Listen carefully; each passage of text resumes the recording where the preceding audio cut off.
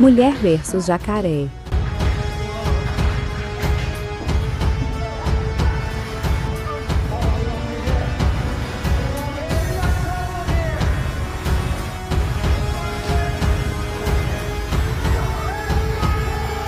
Existem boas diferenças entre jacarés e crocodilos. A principal é a posição dos dentes e o formato do focinho. Esse jacaré aparenta ter quase 2 metros, que já deve apresentar uma boa pressão de mordida por polegada quadrada. Ele leva ela para a água para que ele possa realizar o giro mortal com mais facilidade, indo para afogar a vítima. A forma mais garantida dela cessar os ataques, atacando os pontos fracos do animal, os olhos e o abdômen. Não adianta tentar abrir a boca do jacaré, porque os músculos de fechamento sempre são mais fortes que os músculos de abertura. Se esse animal estiver motivado a matar ou a comer, ele terá que ser sacrificado, ou ela vai perder o braço.